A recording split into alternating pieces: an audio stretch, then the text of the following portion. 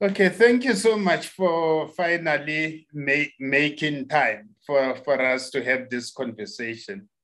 Uh, I know there's a lot written about you, so I'll be able to, to do uh, desk research on top of what I've already done. But I think it will be fair to say, let me hear it from the horse's mouth. Who is Sonwabile?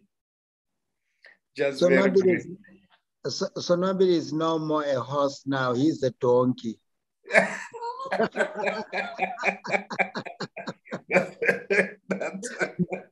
that's a nice one. anyway, it, it's it's even good because a donkey is mentioned in the Bible, and and I've never seen references to to, to, to, to horses. So it's my point exactly. That's why I chose to be a donkey because I become a happy one because I'm a God ride on me. yeah, it's true. It's true. and then with, without, without God, then I happen to be a lost donkey either. Because all, I, I, look like all other donkeys, not special, not nothing that is being thrown in front yeah. of me, and people singing Hosanna and so forth yeah. because now God is not with me. But when God is with me, and then people start singing Hosanna in the in the highest. It's true. It's true. But anyway, coming to your question, um, I wouldn't know what's the right way um, of describing who Sonwabile is. The only thing that I could say, I am a child of my mom as I will always say, because I grew up under her care and love and uh, wisdom. Um, whilst my dad was still alive, um, and then I was born in the Eastern Cape, in the place called Libode, where actually we are known as the prince and princesses, the Ndamase clan. Then within that particular space, um, as I grew up, I grew up under a very tight, if I may say so, environment, an environment that was not conducive for some, but I always say, thanks God, I grew up in that kind of an environment, uh, which is the one that brought me to be who I am. It's like when Jesus was born in this in the in the in the stall uh, where you find that it was smelling, it had all those kind of things, and in the meantime, this particular man was brewed to become a man of what he is thereafter. I hope then that does not leave a single of, th- of thinking that I'm also Jesus on this earth now. I'm mm-hmm. only using that as a metaphor, just to say is most of us, uh, some certain people, we grew up in an environment that are kindly awkward, where you will see a cow releasing, and to you, that on its own, the mud, you use it for your own feet so that you can be in a position of getting the shelter for your feet as your shoes, because shoes were not part of the things that I grew up having them. So those kind of things, and um, as well looking at other people that now my child can wear an underwear when he grow up. Some of us we never wear underwears. We're wearing um, overdressed uh, shirts uh, hanging out and going to school like that. And uh, there's nothing that tells you that uh, there's a taboo in that. You were just only wearing it because that's what was available at the time. Um, cutting the long story short, then I grew up in East London. My mom decided to take us in East London, and that's where then we had a better life so to speak. And then from that, we had to relate to quite a number of what we called um, an urban life because we were from the rural environment. And then I grew up in East London, going to some school and being active in quite a number of other things. And then I ended up finding myself back to Transkei again. Then it was Ciskei and Transkei. And then when I was back into Transkei, then my next spot was being in another school that was called Lampulau High School. In 1976, I was also very much involved into quite a number of um, projects which were historical for our people 1976 1975 and then I was also then ended up not being in part of the guys that were had to go to school because we're banned because of the riots then in Eastern Cape. That was the time of Ciskei, LL Sebe, and all those other leaders then, CEO and so forth. And then I had to find myself back into Transkei, and my mom told me that I need to get away of the town life. It looks like I'm becoming too much involved into politics.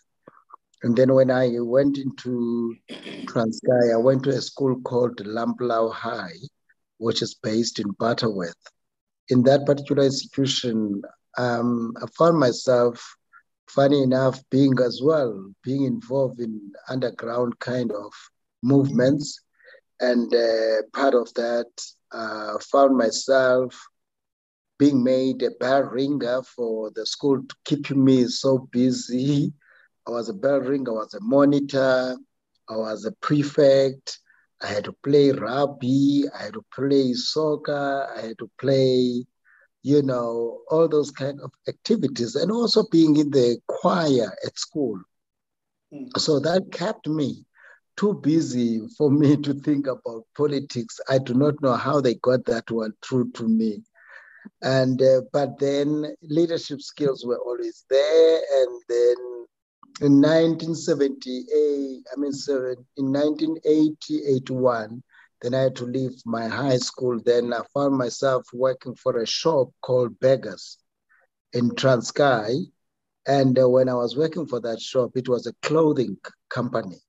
Uh, I would keep on calling people outside, come inside. There was no job which was bigger because even when I was still at school, I used to be a photographer, uh, taking pictures for people and making myself some extra money, you know. Um, and then I found myself being identified by another group of uh, creative and artistic people who then brought me to Johannesburg. And when I was here in Johannesburg, I started meeting Gibson Kente and all other actors, you know, uh, Yvonne Chaka Chaka, you name it. And all those other artists we used to walk around in Hillbrow, in uh, Joburg, Joburg City. And my first time, you know, moving around Joburg, uh, looking at these huge buildings because I was not used to it was part of fun. Uh, I met and I roll around with uh, rolling myself around the quite a number of these um, guys that know um, the the who's who of Johannesburg, and uh, you can imagine Jill coming to the first time in Johannesburg Mm. I remember one time when even language was not part of what I was familiar with. And uh, I was then in the street that was called Commissioner Street. Mm. Uh, and then I met somebody, I had a Michael Jackson kind of a dressing code, uh, rolling my sleeves uh, around my arms. And then this uh, particular lady comes to me and said, Ndate, kina komang. Did you not know you are right? You are at Commissioner Street because I speak, I see what I I didn't even know that was asking for the time. Said, mm. Are right commissioner. Say commissioner, I'm commissioner. ari mama nikikupa. Mm. So those were some of the nicest uh, the language barriers that I picked up uh, to some other people or so, and um, then I went to study for um, for fashion in another institution based in uh, Street at the time, and. Uh, the funniest thing is that when I found I get into this particular institution, I found that they were not um, passing the knowledge of our African aesthetics.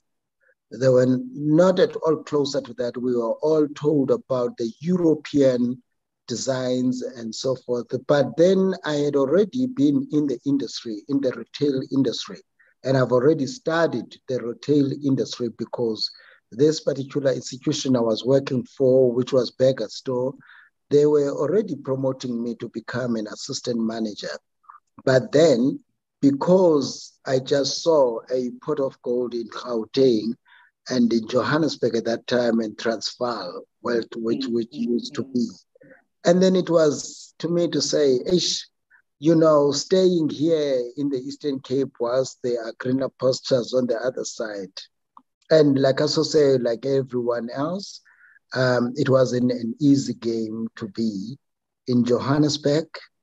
And uh, as they say, the rest is history. Then I found myself uh, on another 10 point where I found myself in the filming industry. Yeah, am I being an actor? Yeah, am I being a modeler? Yeah, a model clothing. Yeah, I see myself doing quite a number of other things. And then I started to look back. I said, oh my goodness, multitasking. I used to do it at school, being a bell ringer, being a monitor, being all those kind of things. Now here am I. i am finding myself doing so much of the work um, for surviving. And all that I'm doing, I'm doing it in terms of making my mom a happy person. Um, then, like they say, that the rest is history. But there's so much, but I'll take it from your questions. Okay. Now, I think let's dwell into the fashion brand, Sonwabile Ndamase. Uh, what does it stand for? What's your brand promise? And how did you establish it from all those different roles that you've been playing uh, as a model in film, but then uh, after studying fashion, then you decided to come up with, with this brand. What does it mean? To me, the brand actually meant so many things. Um, one of the areas that I was pushing was I was doing um, the, the, the, the creative art. I wanted to bring what one will call African aesthetics in the mainstream because I found that most of our um, designers, especially um, in, in, in, in, in, in, Africa as well as in the world, we were not at all given the opportunity of us being known out there in the mainstream. And what does that then meant was the fact that me as Sonwabile, having grown up in the rural environment, um, you know, and finding that the African aesthetics were not at all being um, recognized, I had to do something about it.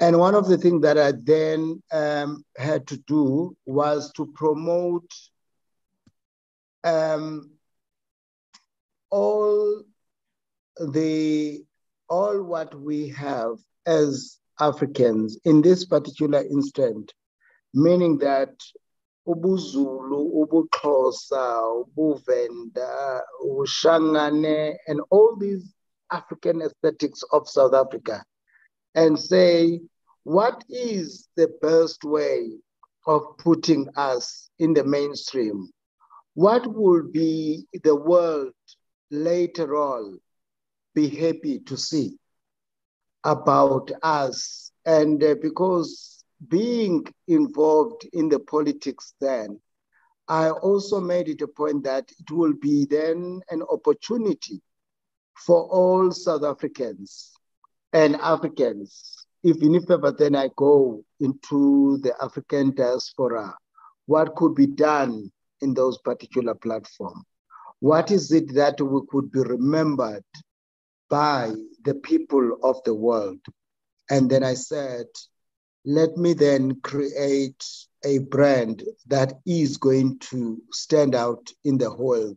And guess what happened? And then I started with a word that says Vukani. Vukani means, as you know, wake up. And then I created a brand around Sonwabile that is called Vukani, means wake up. And the first thing that I had to do, I had to say, you know what? There are people who have been out there in the mainstream who have also assisted, pardon me, in, in creating uh, beautiful, beautiful brands out there. But how can I then make it a point that this brand, Sonwabile, can also stand up? And then I decided to say, there is a man whom I have been epitomizing and that man was none other than um, Reverend Martin Luther King Jr. Then, when I thought about it, I said, This man once said he has a dream. And just only to say that he once had a dream, how can I draw a pattern out of him? And I decided to do nothing else but to do, uh, I mean, to go to, uh, to Atlanta and say, I want to be at this man's um, tombstone and uh, usurp his power and say, before that was 1994, actually, that was 1993, before 1994, I mean, 1994, before 1990, we received our freedom in South Africa, which is then um, where we had our elections could take place. I went to his tombstone and then I prayed and I lay a wreath in saying, we don't want Americans to start saying, here is new South Africa with the new look of how things are going to be. And then I started to showcase my line in America, and I call it Vukani Fashions. And I also pay tribute, and then I was given as well by the mayor then, Mayor Bill Campbell, who was the mayor of Atlanta, proclaiming that 13th of March is Vukani Day on my behalf and that was one of the awesome and well well overwhelming things that my goodness me here am i in this so-called foreign lane and i'm being given this opportunity to become a man to be reckoned with so in a, in a nutshell i then started to say sonwabile is an in, innovator a creative thinker and a visionary. He is a, a sought after trend analyst, and whilst his feet remain firmly talented on an African soil, he uses his global perspective to source new ideas and gauge himself into so many other opportunities that resulted to him to become what he is now today. Yeah, you know, for, for me, uh, Vukani Fashions um, speaks to the whole movement of, of Africans uh, tapping into what Ngugi, wa Thiong'o, uh, described as the decolonization of the mind. And in fact, this is the challenge that we are faced with right now, where we need to find ways of, of uh, Africans approaching life from an Afrocentric perspective, where we dispel all the myths around Eurocentrism. So I think it, it is centered there for me, and that's why I always love it. But one can talk about Vukani fashions without having in mind um, Ndamase. But beyond that, uh, I'm glad you have mentioned Martin Luther King. I didn't know about this aspect. But then for many of us, we know that you can't talk about these two brands without talking about Nelson Mandela. And how, how did you encounter Mandela to an extent that ultimately then you design what has come to be known as the Mandela shirt? Um, very interesting enough. Um, I always draw my inspiration from Umama Uwini, Mama Winnie Madikizela Mandela, because that's how I first met Madiba. I met him through Mama Winnie. Um, uh, it, it, it, it was in 1990 um, when I, uh, uh, when uh, I met Dada after his release. Um, then also Madiba, as, as, as the clan name that is known, uh, and I, we are from the same clan, clan which is then in, in, in, in, in, in the Eastern Cape, which is the Nguni one. And so I used that king, kingship to introduce Madiba to the shirt, which he wanted um, a garment that was user friendly and lightly to wear, but a combination of Europe and Africa.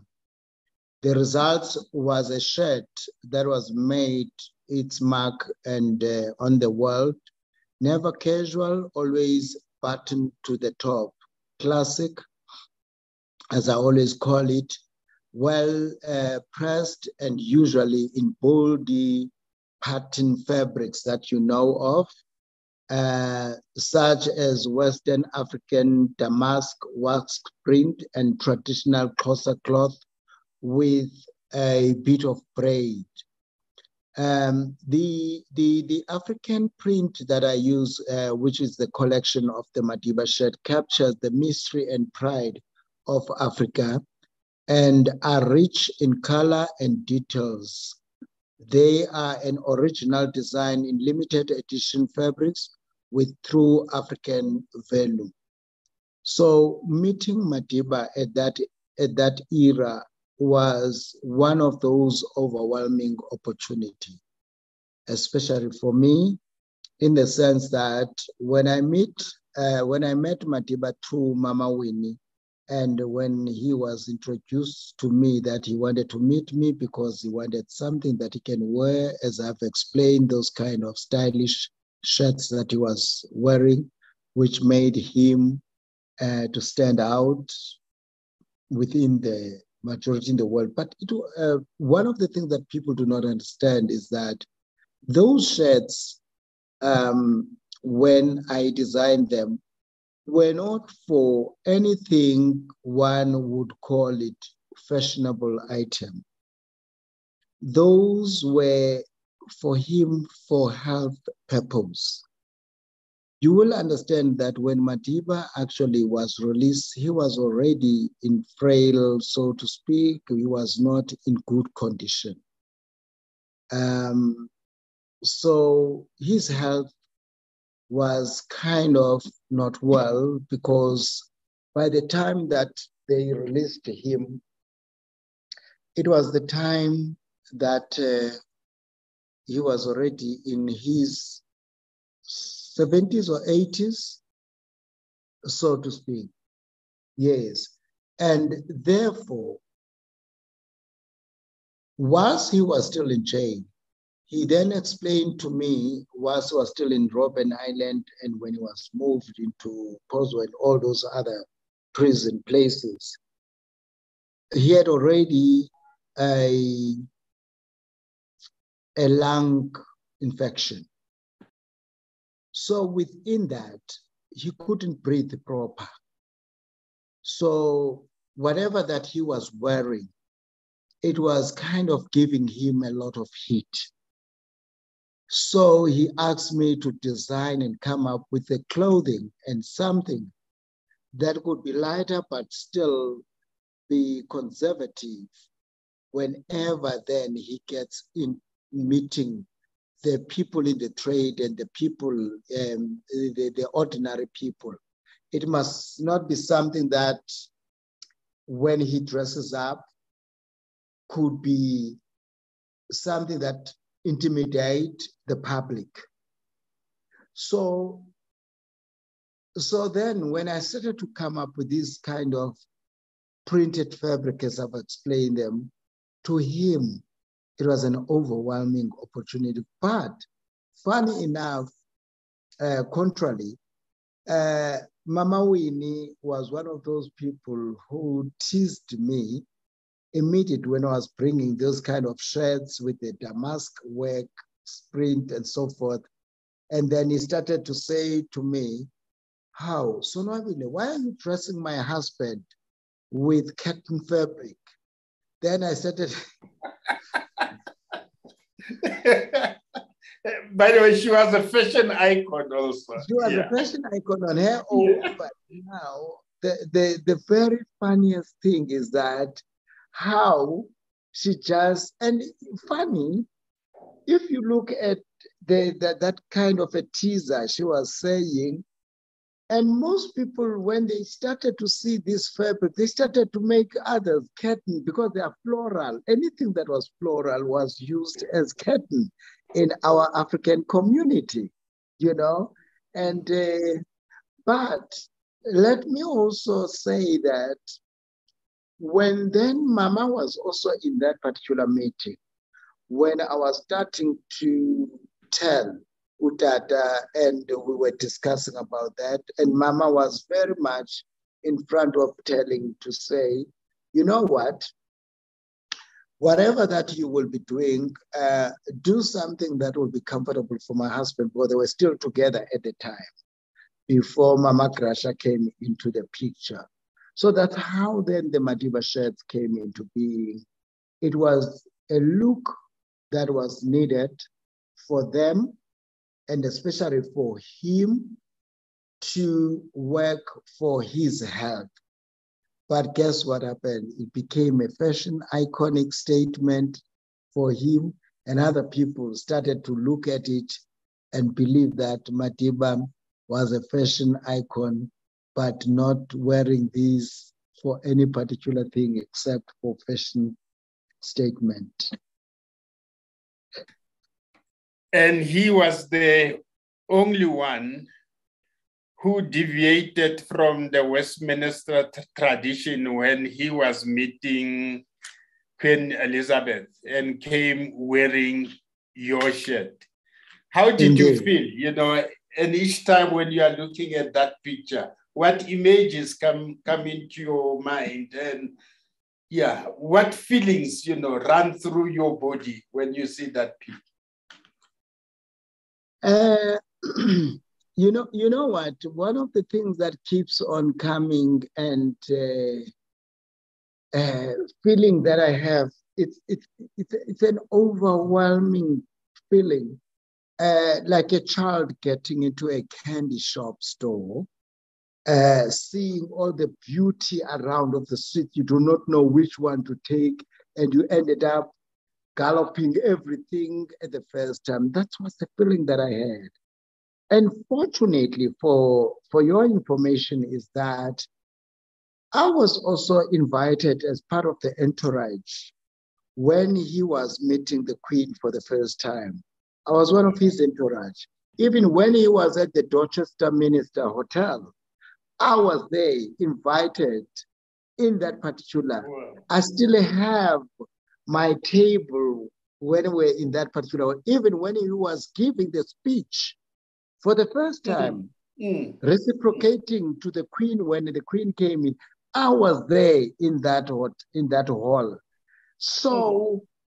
to me, all those things were actually after at the time that was happening, I was just having that feeling that says, this is the place to die for. You know that feel that says that says, I will die for this. And I said to myself, when I was in that particular hotel with the Queen, with him, with the Duke of Edinburgh, with all these other statesmen, even actually the current um, uh, President Cyril Ramaphosa was in that particular um, hotel at that time. We're all hosted. I even have got a picture that I took with him when then we were outside uh, after the uh, after the lunch that was served. Now, it was one of those moments that I said, "My goodness me, if I die here, my family will be rich." you know that typical thing will be saying we were killed in this particular room with all these people. So those are kind of things that came running.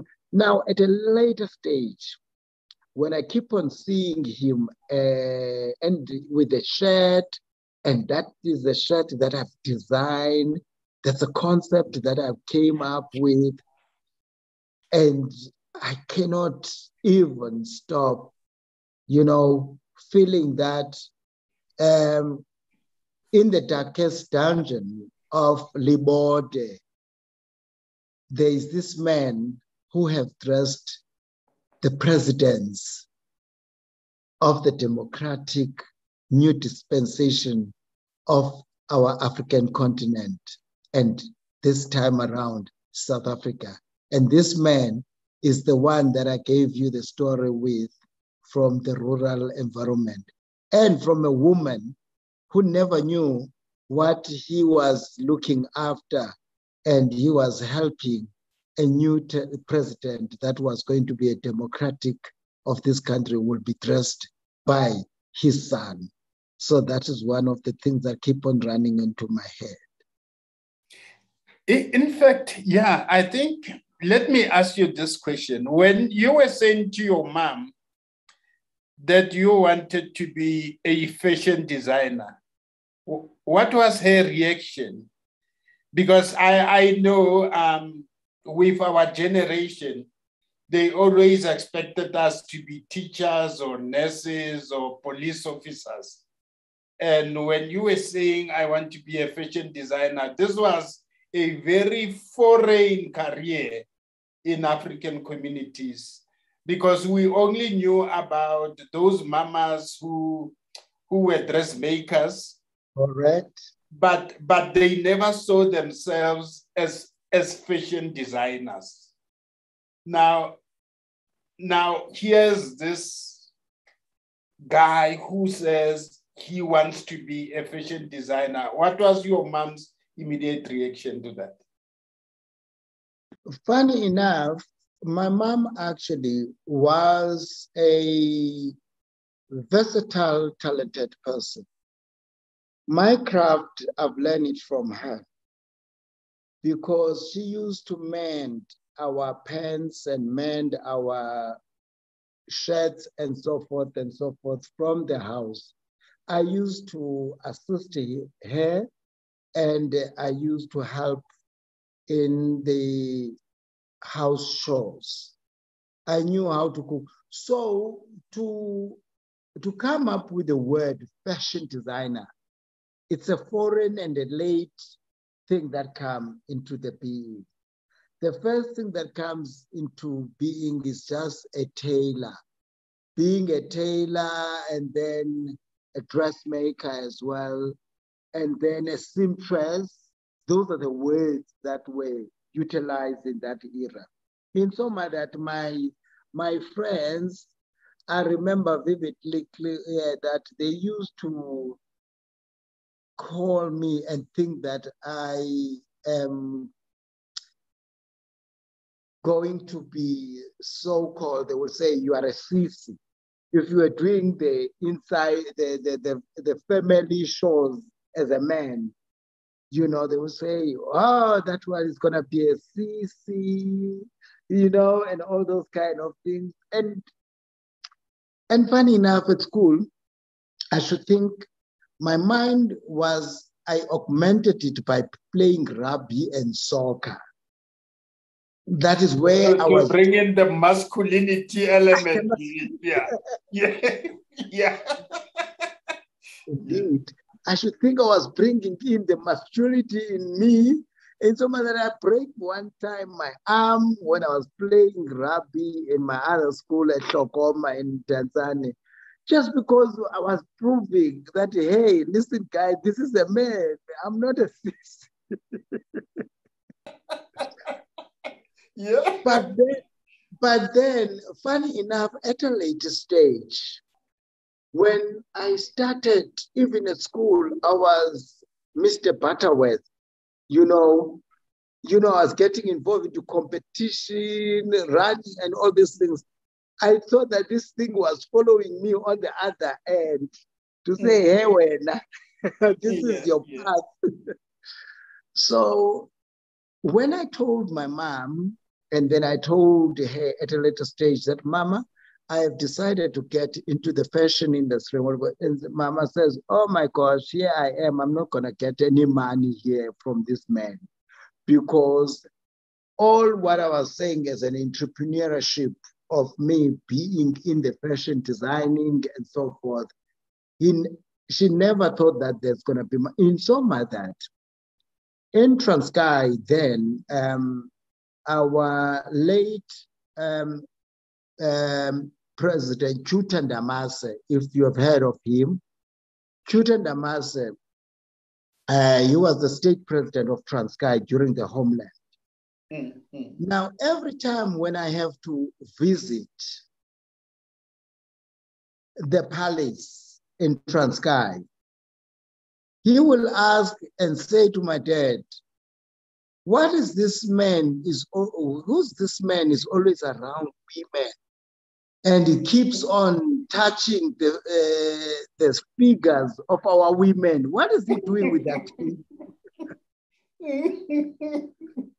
because it was also strange to him finding men carrying a tape measure, being measuring, you know, women and all that, because they were asking my aunt and my uncle were asking clothes from me at that, at that age. So it was still still foreign to my elderly, foreign to my mom, but at the end of the day, um, I never got what I will call a huge support to my family because mm. one of the things that they believed it was a foreign thing. Even Mama Winnie Mandela, actually, at the time when I approached her uh, mm. in the 80s, starting, he never, she never took it very keen to assist me, says, a fashion designer and a man, Nohari, he was, and you coming mm. from Transkei, how do you break the barriers of a masculinity of a man? And that is just mm-hmm. that I might um, uh, be involved in in in in in, in, in, in a sense of political uh, impimpi to come and infiltrate her space by being into the Mandela family because at the time it was such a taboo to be with the Mandelas, and it hmm. was mm. such a, a, a, thing that no one else was, would have loved to be closer to them to, of, uh, within that particular family at the time. Um, we are now looking at the opportunities. Later on, we will look at the, the challenges you, you faced along the way. Um, uh, you, you, you did a post on Facebook a while back about the costumes that you did for a television production. Um, and then you also went into the traditional aesthetics, uh, talking about Amampondo different from the normal Xhosa tradition. Uh, can you tell us about that? Because I found it very, very fascinating. Yes. Uh, at a particular time, I, I, like I told you that I've been also involved in the filming industry. Uh, once I have been involved in the filming industry as an actor, um, I was also involved in the wardrobe design and selection of the clothes for different characters that have to be played in that. Now, funny enough, um, there is this particular producer um, who then said, because he said, contrarily, me as Sonwabile Ndamase have never been celebrated enough uh, for what I've done in this particular country of ours and also in the African diaspora. And then he felt to saying, you know what? There is this production that he's doing. Um, and then he has got a section that um, he would like to see me featuring on, and that section will be Amampondo. And he kept on asking me, what is the difference between Amampondo and all other ethnic groups? And then I started to explain that to him and our culture, how it is, because we come from the royal family. And then he says, okay, fine. Let's see how we can develop a dialogue in that particular space and how do these people dress up? And can i take because there are quite a number of traditions that you will see this case, this this time around you will see the the Xhosas, how they dress up. You will see the zulus they've seen their weddings.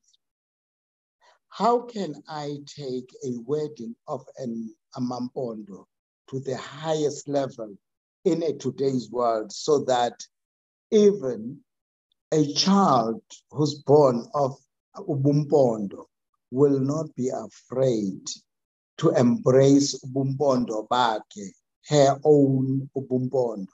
Then what can I do? And that I said, no, it's fine.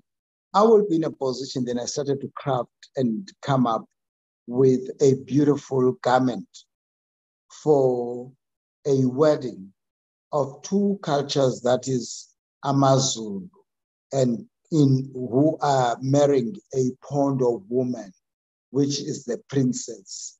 So that's already that um, I had to create that, pardon me, in that particular space, in showcasing that we as Amampondo, we do have a culture and our culture, as much as it is dormant, but it is a beautiful culture and even our language. Therefore, I started to display from that perspective. Um, what are the challenges you met along the way? Because if, especially young fashion designers look at you, they'll think it was just very easy for you to just be right there at the top. Uh, what are the pitfalls that they could look out for? There is much of quite a number of challenges that one meets if a person is not focused in whatever that he or she is doing. Therefore, chances for any particular person to succeed are very slim. That's one. You need, as a designer, to be focused into your craft. Don't do anything whatsoever that you are doing and uh, rushing for fame, rushing for recognition, rushing to for popularity, rushing for the media to catch up with you and so forth. First, polish your craft. Check what is it that, whether the craft that you have taken is the best of it all. The, then the next thing that is happening is that there is quite a number of potholes along the road. If you are taking our craft just only for the fame and glitz and glamour, at a particular time, you are going to fall because you will be hurt because you are not getting what you thought this is going to give it to you. If you are taking your craft and knowing that this craft that you are busy with, this is a craft that is going to help and feed you. This is, you are becoming an entrepreneur. You want to pay rent, you want to educate yourself, you want to educate your family, and you want to become a person, a business person within your craft. And therefore, you are at the right place.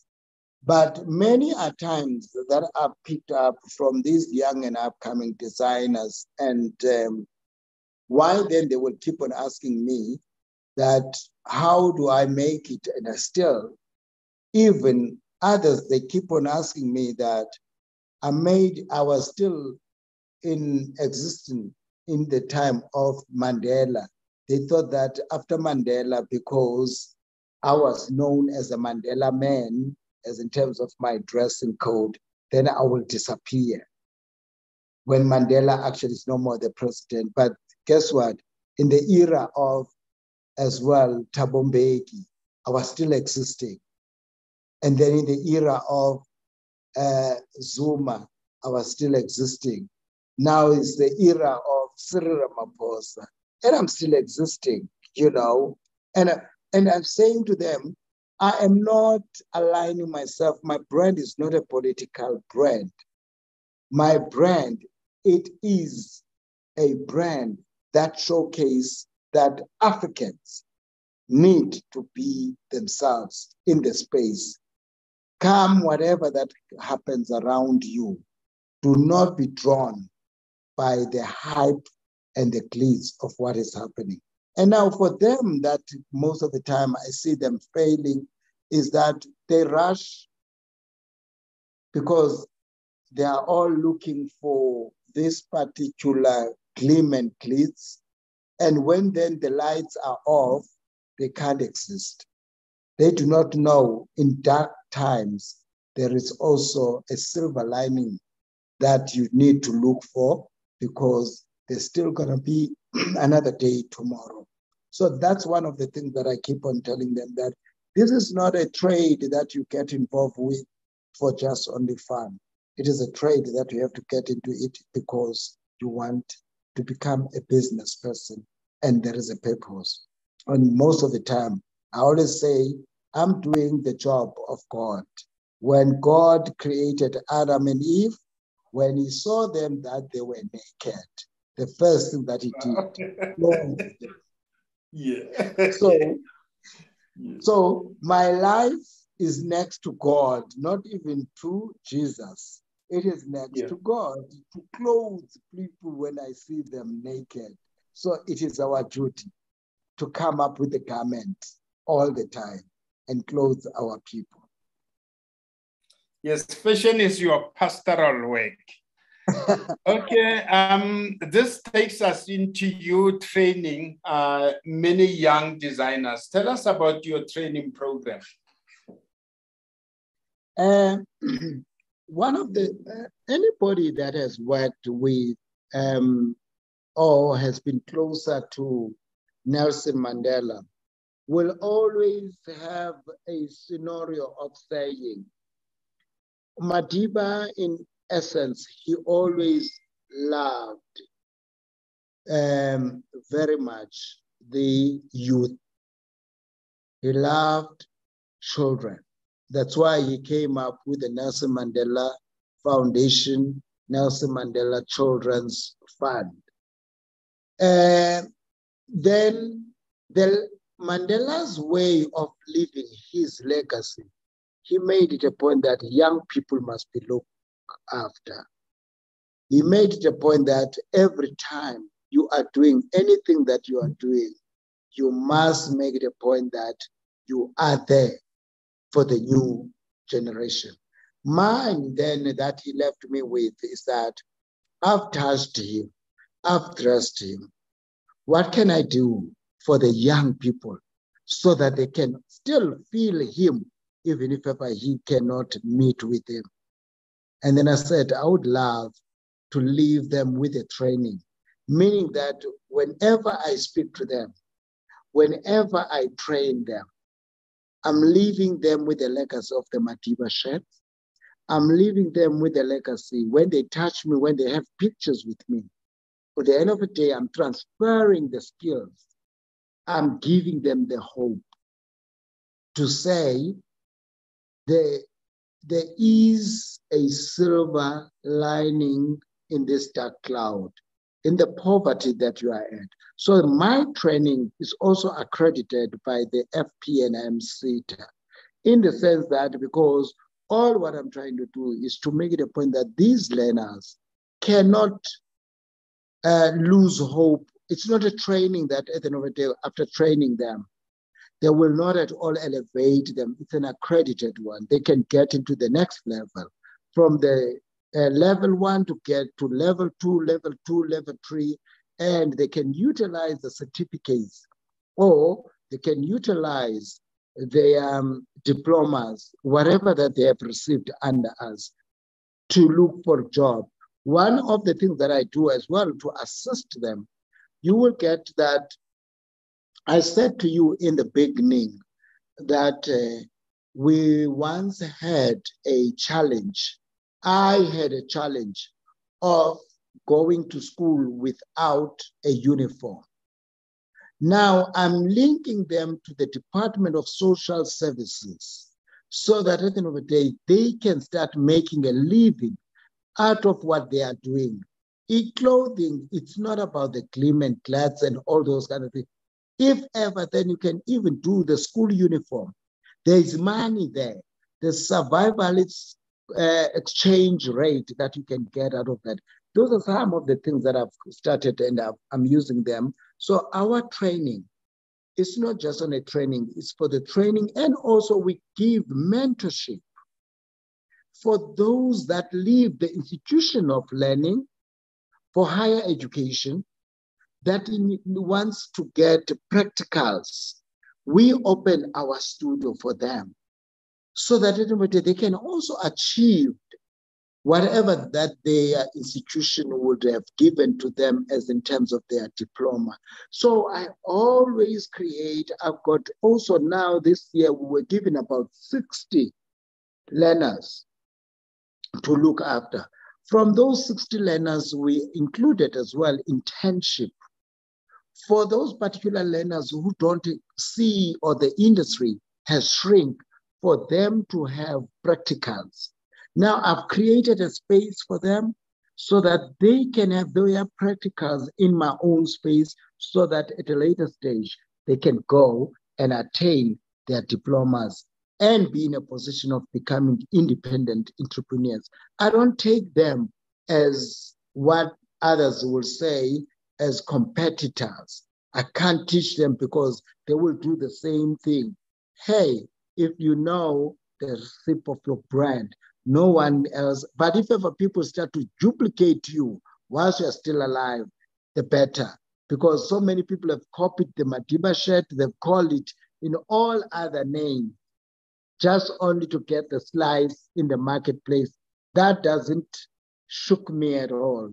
Instead, it makes me happy. I did something and other people are duplicating it. If they do it better, let them do it. If they do it lesser, let them if they can make money out of it, let them, because all it's about the survival for us to live in this planet where we are at. But at the end of the day, all what we are doing is passing, and tomorrow it's history. Then tell me about your partnership with the Nelson Mandela Foundation and also a number of retail outlets uh, that made your your products more accessible to many people? I have quite a number of um, mandatory uh, opportunities that actually have come through, we have actually the Nelson Mandela Museum, which also actually we assist them in terms of their educational part uh, in Umtata as part of what we call plowback uh, projects. And then also we have got an, um, another opportunity that we have done, or we still most of the time do with the Nelson Mandela Foundation, as in terms of also on the side of education, as with the young and upcoming fashion designers, and also expanding this particular product that we have, which is the product of manufacturing.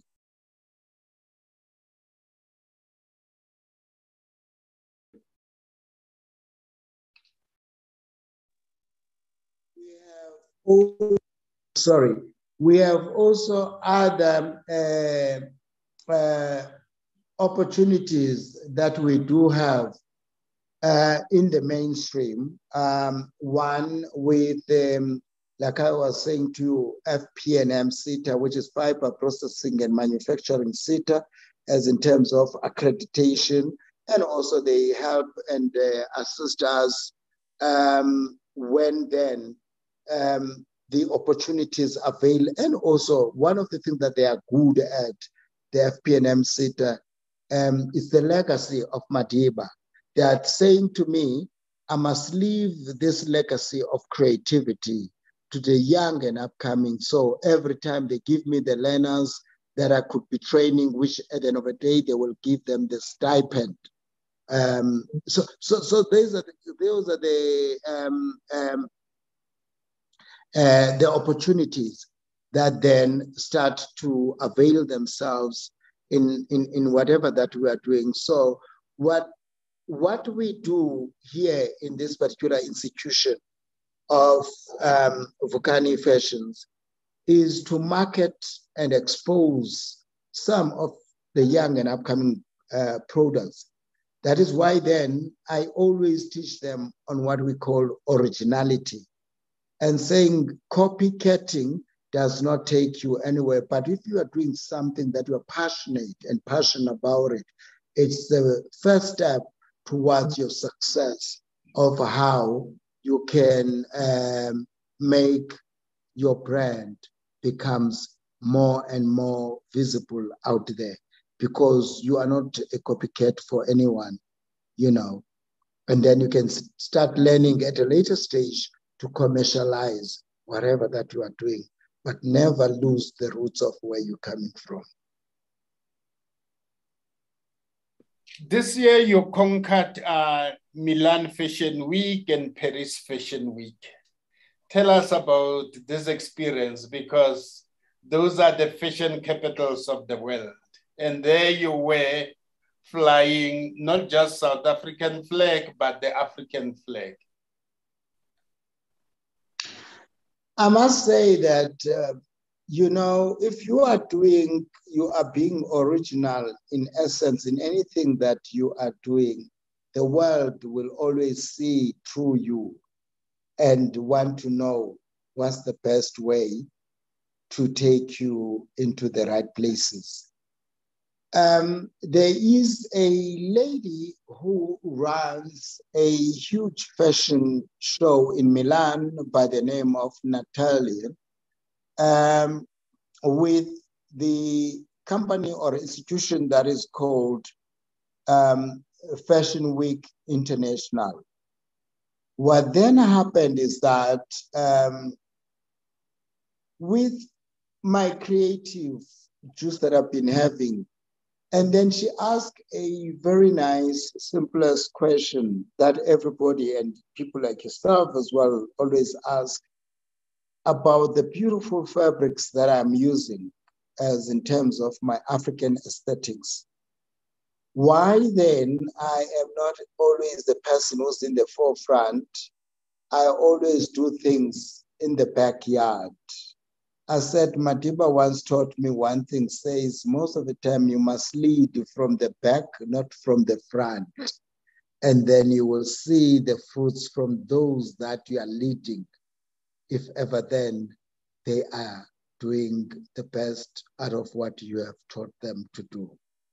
So by going to Milan, my Milan Fashion Week was my first of its kind. And then I, I mesmerized inside myself to find out what could be the best way of representing my Africanness, my continent in a European platform. Uh, I thought about it, and then my first thing that came into mind was this old lady who is no more, which is Mama Winnie Madikizela Mandela. And then I said, she has been an icon. And she embraced my signature of Africanness in wearing isimpondo and in wearing isiXhosa. What could be the best way of busting and creating these um, white superiors in, in, in that particular platform and prickle their eye to see that Africa has arrived. Because I cannot go and fight them with their guns. I needed my own knobkerrie to take it with. And then I said, my only shield and knobkerrie will be my Africanness that I could bring to them.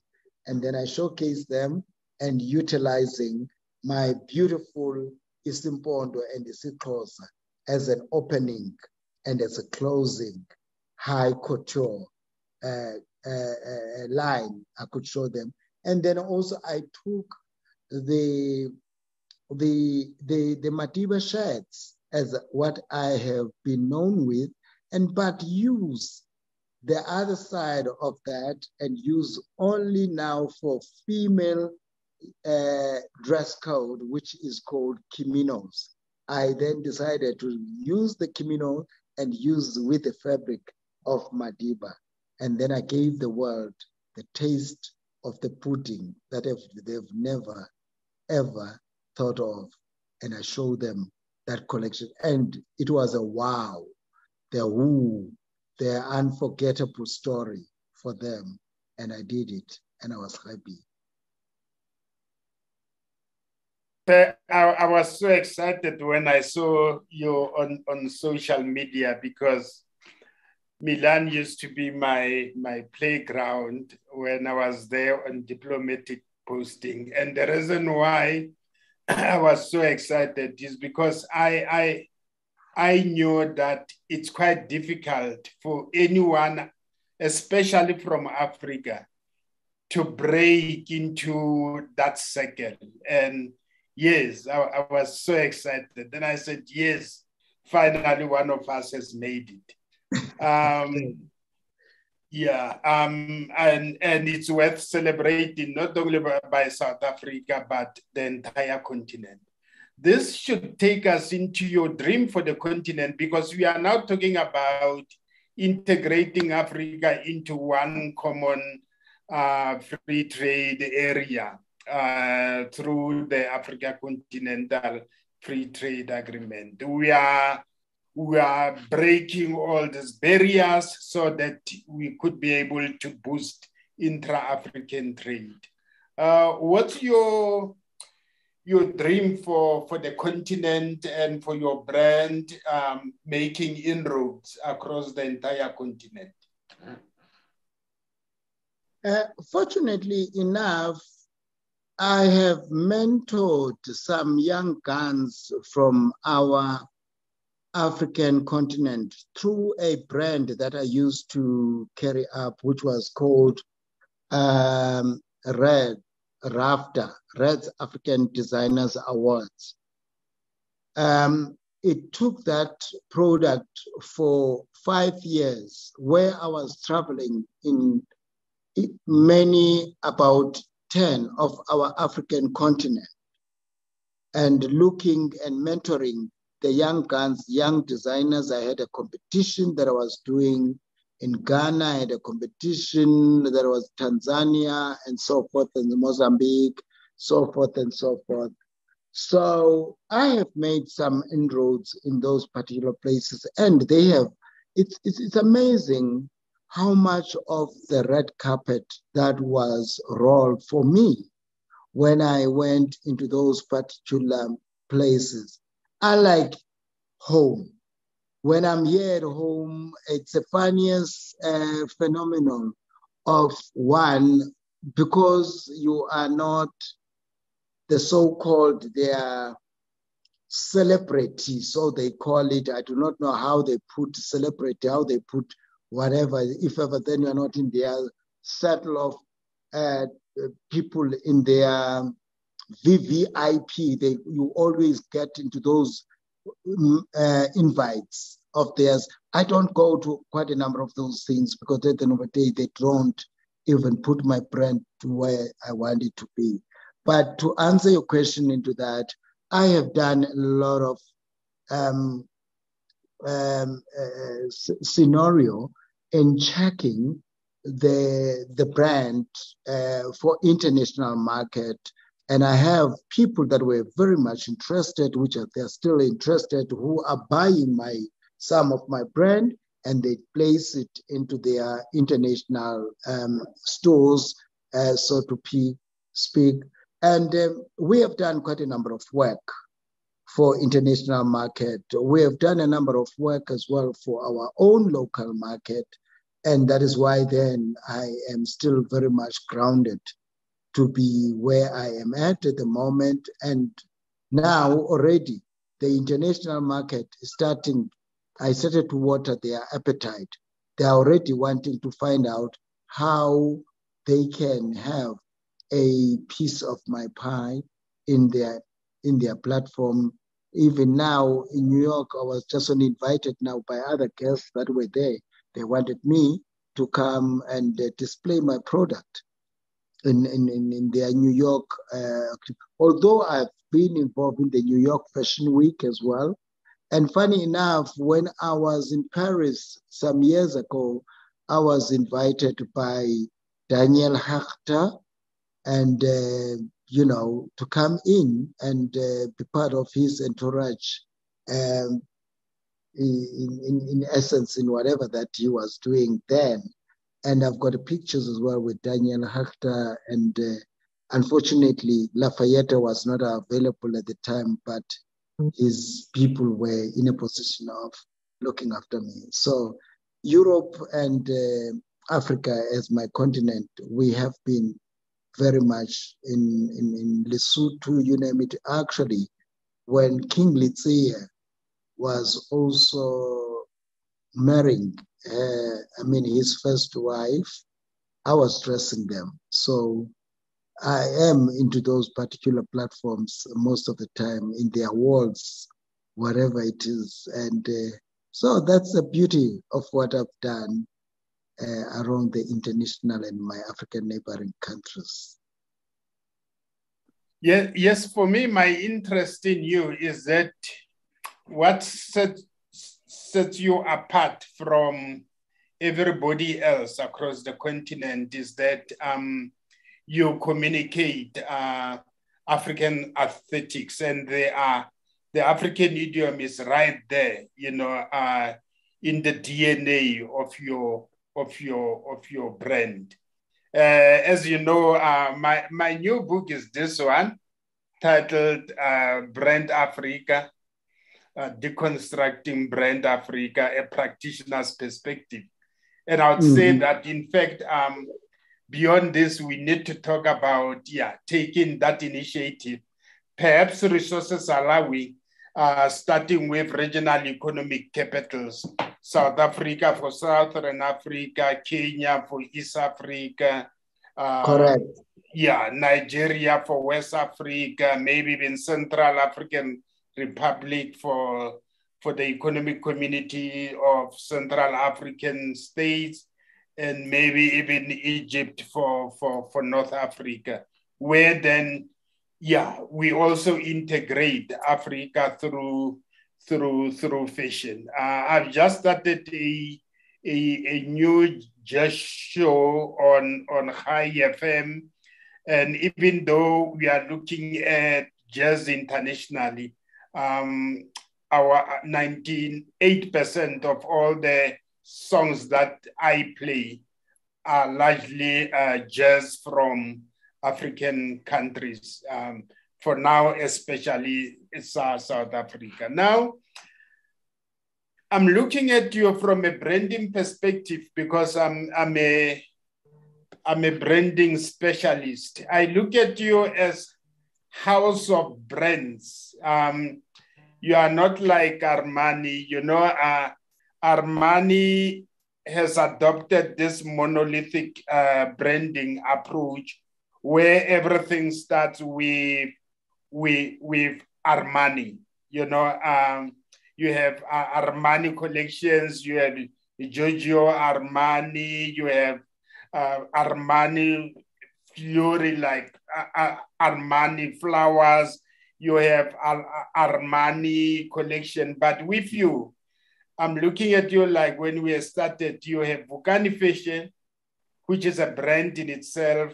You have Sonwabile Ndamase, who is a brand, by, by the way. Then you have Madiba Shirt. So I'm just looking at you as House of Brands.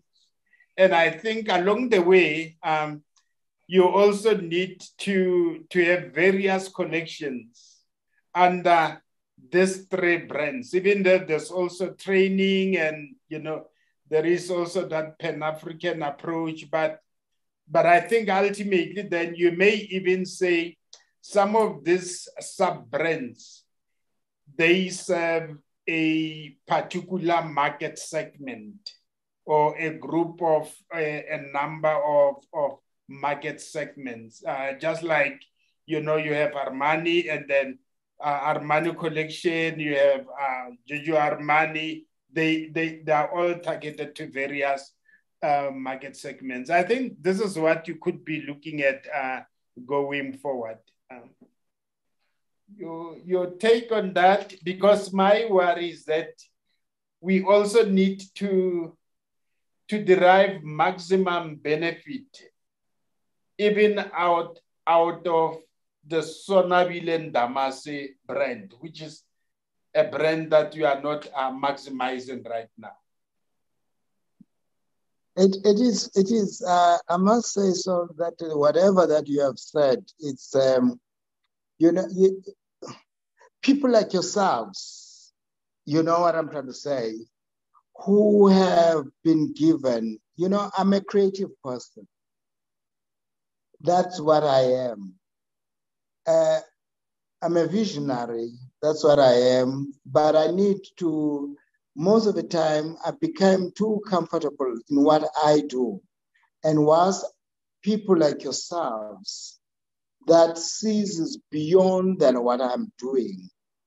And therefore, I need to have those kind of network. So people like yourself, I, I would like us to take this conversation to the next level and see then what's the best way of starting it because you have already have what you have created, what you have put out there as a book, as a reference. How do I then draw my inspiration from what you have already done as a reference? I am not into that kind of a space, but having a relationship and a cooperative and um, with people like yourself, I should think we can do that. It can happen. And um, maybe it was it was good away, uh, awaiting that the COVID must come and go. And now we're left with another COVID, which is called load shedding. And it will come and go. Maybe then we'll use a candle and write under the candlelight in terms of these kind of ideas before. Um, we some of us will disappear in the mainstream, but we're happy that we are still making those kind of inroads at our age. And now with people like yourselves who like to align us in the right direction. I am so thankful that this moment has come to what it has become. And uh, I'm happy that maybe then we could even start with all what we are saying, this kind of branding, and then start creating something for the new generation, which they can learn from and how to maintain these kind of brands. But even if ever we do it in our cultural way, but you will tweak it, have that international flavor into it. So I leave it unto you. No, thank you so much, Machi, for this opportunity. Yes, um, this conversation uh, will be carried on all our platforms, um, your YouTube, uh, but particularly the, the text version and, and the video itself will be in Jumbo.